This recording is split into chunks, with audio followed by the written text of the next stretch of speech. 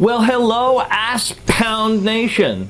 I've heard that it's time for your annual diagnosis program and purge of stanky comedy that has led to the destruction of this Discord. Let us start with you first, Morty. For your test, I need you to bend over and touch your knees with your elbows. If you can't touch them, then I'm afraid that you have the terrible disease MeFat. Mhm. This disease has a high fatality rate and has no cure. However, our scientists at the SCP lab have been working on an experimental cure that involves me sticking my fat cock in your ass. Ha! Got him! Anyways, my bazingas, it's time to move on to Charlie. Now, Charlie, I've been told you're training in MMA and related to a longtime descendant of the famous prophet Gandhi. Since the many generations that Lee Gandhi family have lived in peace until one day I got you to Lee Gandhi's dick. Hey, got him! Say, moving forward to our favorite burger flippin' Ryan. Ryan, your addiction is known very well among the community of doctors as it is very unique.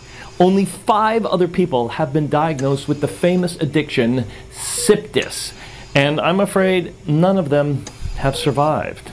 Zero. Despite all that, there is an experimental rehab therapy for Siptis that involves me bouncing up and down on your dad's rod.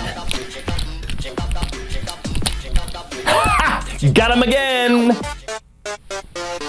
Harvey, my bro Chacho, what's poppin'? Your car engine, apparently, because I've just been made aware that your car has been missing the vital piece, the cupola cover. This cupola cover goes right above the buffer cover and can be installed by me sticking a cupola nuts in your mouth. Take that, you little bitch. now, let's see here. Oh, great. Phew. Only two left. Lachin James Barton. Due to an excessive amount of spamming in the chat and vomiting straight cringe out of your mouth, I will have to send you to solitary confinement in the city of Nibelma. The city of Nibelma has been riddled with cases of coronavirus, HIV, and goblins. Gobble this ass! Ha! Got him again, you gullible bitch! Yup.